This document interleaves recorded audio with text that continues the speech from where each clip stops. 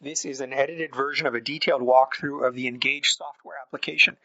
Engage was created by me over the past 25 years to investigate various aspects of a missile engagement, particularly the design and effectiveness of adaptive and cognitive countermeasures. Um, Engage produced all the results that have been shown in all previous missile defense videos on this channel, and it is owned outright by Sky Industries. The walkthrough in this video took place several years ago, and any comments or questions from the customer have been removed.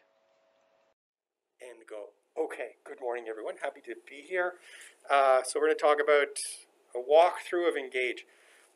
The main parts of Engage is a missile model, a platform model, which is like target model, skin echo, and the environment model. And I think in any engagement, that pretty much captures everything. Where the where the uh, well, there's a jammer model that should should be on there as well. We wouldn't we might put that with the platform, let's say. Uh, and what's it used for? Well, it's built for all these things, and I use it for some of them, but not all of them, like countermeasure development, what if trials preparation. Like instead of going down there, we could get maybe some idea of what might work ahead of time, what pull rates for RGPO or RGPI, power levels relative to skin out that are liable to work. You know, take a kind of an Apollo approach where in the Apollo program they used they had to plan for every possible contingency.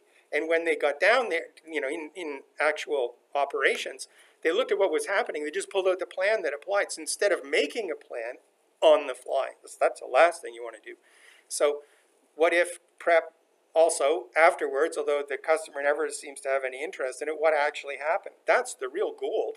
The whole point of doing a trial. If there is an appetite for what happened post trials, then this is a way to get at it because you can represent the trial instead of just a missile engagement. Also, phenomenological investigation. I've lost track of the number of things I've learned about missile engagements and propagation and missile design and jammer countermeasures and jammer properties and how they interact by looking at this thing. And then we go and do trials, and it turns out, oh yeah, it's exactly what we what was predicted over and over and over again. But the main design theme to me is self-verification. The, the, the biggest lesson I heard learned in developing this software over the last 21 years is you how the hell do you tell what it's doing?